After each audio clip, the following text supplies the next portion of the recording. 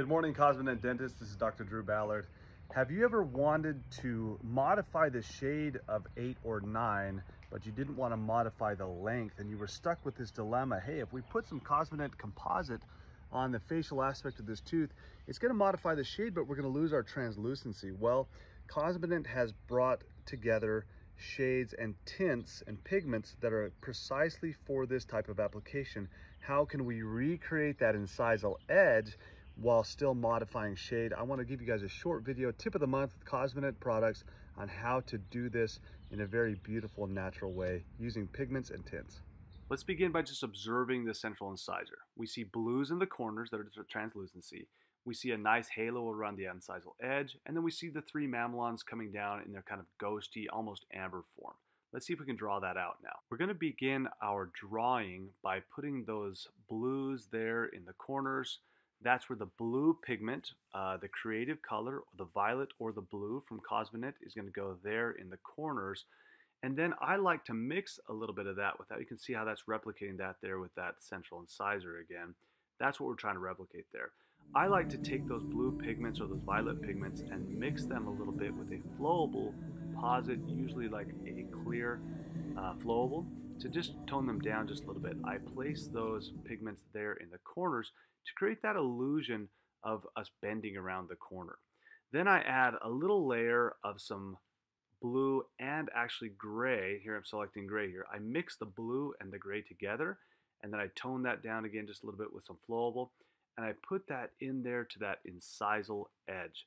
That is going to give us that nice clean effect right there in the incisal while still sort of preserving the halo-like feature now we still need to get to creating those mamelons and also kind of finishing up some dark texture there through the mamelons.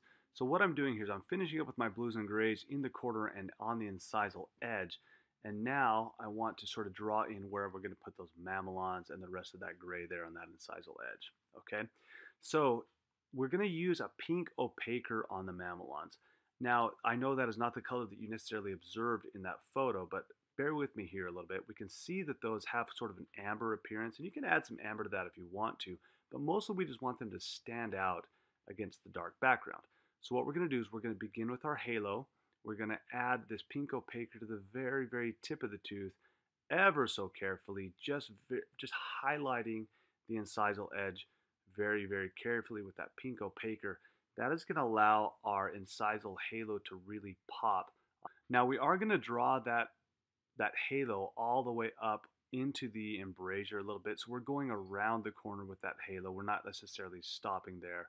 Next, I'm going to put three small dots, very, very small dots of pink opaquer where I believe those mamelons need to be.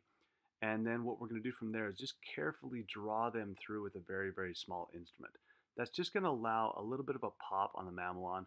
We're coloring that in with that pink opaquer. We're trying to create that effect so that we can see those kind of just balance against the dark and the, the, excuse me, the gray and the blue that we've already put on there. And that's going to create that effect of looking. Once we have those mamelons in place, we like the way that it, that it looks with our pink opaquer, we're going to seal all of that color in using a more transparent composite. Here I am using light incisal.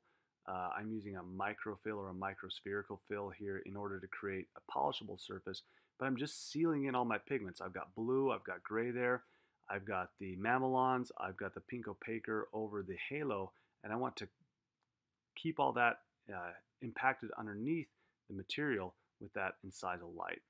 Then I'm going to finish up the body with my enamel shades. This could be an SB3, an SB2, something that's modifying the shade, and I'm putting that over the tooth to create this effect. Here, as you can see, We've created this result where we've blocked out the underlying shade, but our mamelons still show up. We've got some translucency there. We've got a halo there.